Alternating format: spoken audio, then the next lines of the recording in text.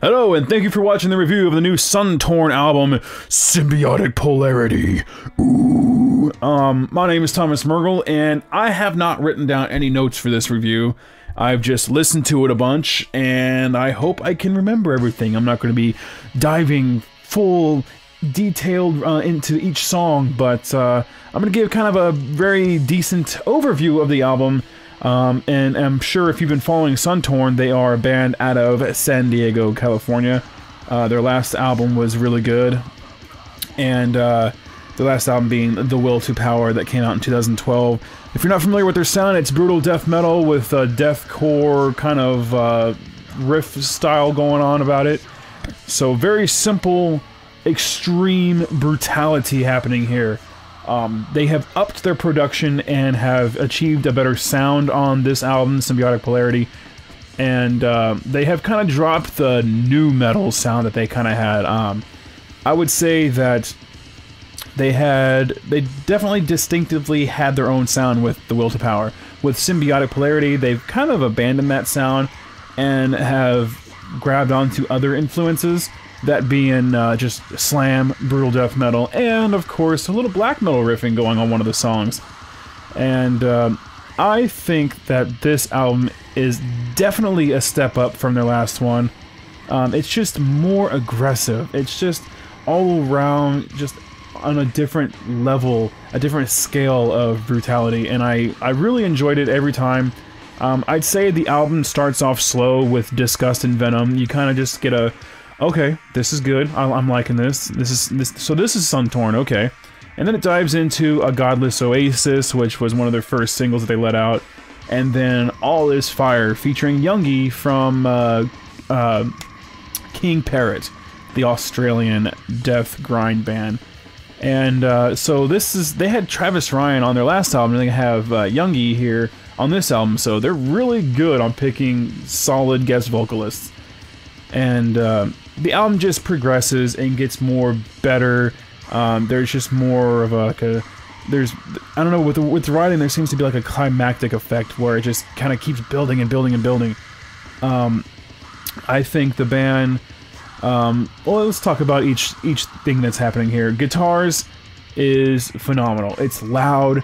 The distortion is just rough and raw. Um, I don't know what tuning they're in, but I can assume it's it's a low tuning because they'll just pop that bottom string, that low string, and just get a, a really harsh, um, almost Suicide Silence sound going on. Just that real deathcore fucking dun dun dun. It's it's really good stuff. Uh, bass is just right alongside with it. I really don't recall any moments where the bass really stood out.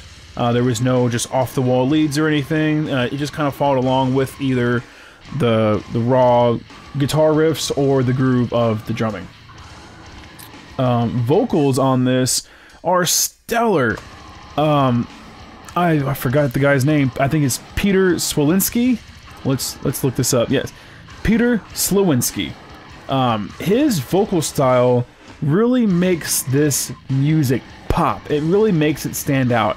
His his lows are incredible. They are insane for him to get so much of a gurgly, guttural, brutal death metal sound, and then for him to just immediately switch it and go to something that would just blow Mitch Lucker out of the water. Uh, his highs are incredible. It's uh, it's that's where kind of like I guess the deathcore sound could stick as well. Is just the highs um, do remind me of Suicide Silence a lot, but in a good way. I really think that there is a fine balance between his uh, Peter's lows and his highs, and there is some raw, um, rough mid-range vocals coming out as well. But he has a range, and his range is phenomenal, and I love it. It's very good. Um, uh, guitarist Dan Sykes, he's the one that's been handling the the the riffing, and then you have bassist Greg Montz. I didn't say their names earlier. I apologize. Uh, Dan Sykes is also in Mal- Malodorous, which they'll come out with a, with some music eventually, and uh, ex Throne of Disgust. So rest in peace with Throne of Disgust.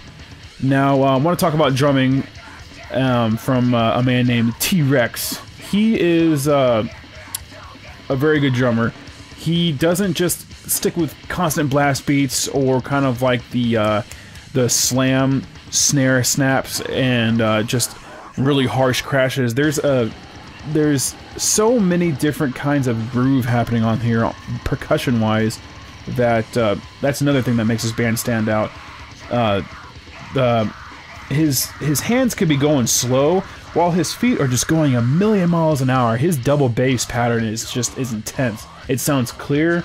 It sounds uh, just heavy all around, and it gives Suntorn the overall badass sound that it has. So each band member here is just full, just bringing in something to make this special. Uh, bass guitar also making the the actual guitar riff sound much more powerful.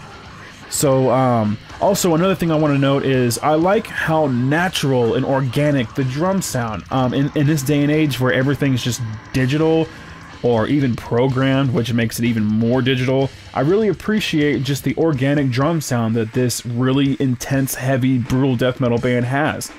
Um, especially in a day and age where, you know, everyone kind of has a, a, triggered sound, and I don't, I, and, or just that, I don't know, it just sounds computerized, electronic. It doesn't sound like real drums.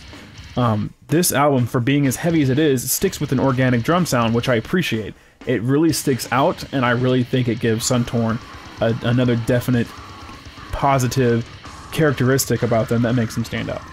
Um, I'm hope I'm I'm hoping I'm not just repeating myself here.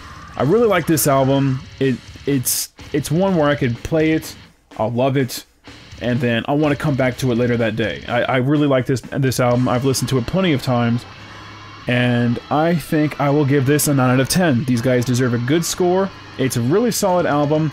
Um, when I'm not listening to it, I do think about it. I don't know, the song uh, All Is Fire, I really think it stands out, um, not only from the guest vocals, but I really like how the drum pattern goes, especially that snare. With uh, one of the riffs, it's really catchy, it's really kick ass. That song gets stuck in my head all the time. Another song that gets stuck in my head is Stillborn in Expression. Um, a very dark song, a very just evil sounding track. And I really like that. For for whatever reason, they just kind of have like a little black metal riff going on there, and it's kick ass. It's a great opening riff, and then it just dives headfirst back into Suntorn's uh, brutal sound. So I give it a 9 out of 10. Thank you for watching. Thank you for your time, and I will see you in the next review. Have a good day. Bye bye.